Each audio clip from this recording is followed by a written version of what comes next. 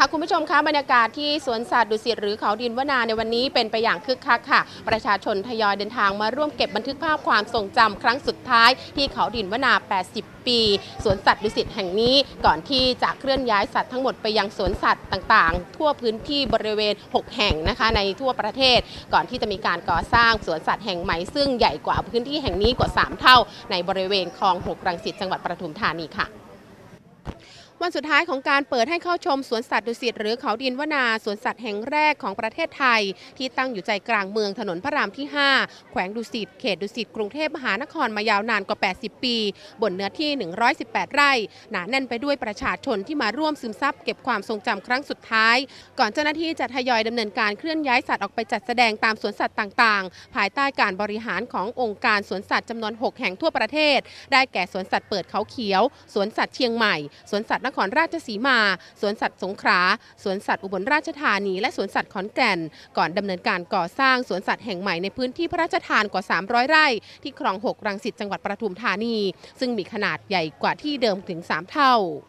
นางสาวชดาภาวงอรุโนไทยหนึ่งในประชาชนที่เดินทางมาพร้อมครอบครัว มาร่วมเก็บภาพความทรงจำครั้งสุดท้าย ที่สวนสัตว์ดุสิตแห่งนี้ เปิดเผยว่าตัวเองย้ายครอบครัวไปอยู่ที่ประเทศญี่ปุ่น แต่วันนี้มีโอกาสและถือเป็นวันสุดท้ายที่สวนสัตว์จะเปิดให้เข้าชม เลยอยากให้ลูกมีความทรงจำดีๆ กับสถานที่แห่งนี้ แม้จะยังจำไม่ได้ แต่ก็มีภาพเก็บบันทึกไว้ ส่วนตัวรู้สึกเสียดายและใจหายที่สวนสัตว์ถูกปิดไป เพราะการบริหารจัดการของที่นี่ยังถือว่ามีการบริหารจัดการที่ดี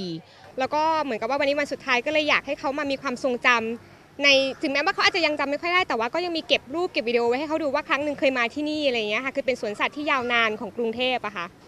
ก็เสียดายนะคะ เพราะว่าพอมาลองดูแล้วอะค่ะรู้สึกว่าจริง ๆ มันยังสภาพยังดีอยู่ววิธีการจัดการของสตาฟที่นี่ค่อนข้างโอเคเลยนะคะ คิดว่าถ้าจริง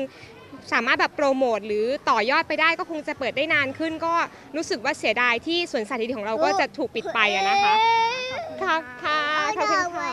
เช่นเดียวกับนายอิทธิไกรโกมลจันทร์อายุ 78 ปี กล่าวด้วยเสียงสั่นเครือว่าตัวเองเคยเดินทางมาท่องเที่ยวสวนสัตว์แห่งนี้ตั้งแต่เมื่อ 50 ปีก่อน และภาพทุกภาพยังคงอยู่ในความรู้สึก จึงมาเก็บบันทึกภาพเพื่อบันทึกความทรงจำเป็นครั้งสุดท้าย ค่ะอย่างไรก็ตามนะคะ ประชาชนยังคงสามารถเดินทางมาร่วมเก็บบันทึกภาพความทรงจำครั้งสุดท้าย ได้ไปจนถึงก่อนเวลา 18 นาฬิกาวันนี้ค่ะทัศพลที่เสถียรถ่ายภาพสุภาพรศรีหาวงทีมข่าว INN รายงานจากสวนสัตว์ดุสิตค่ะ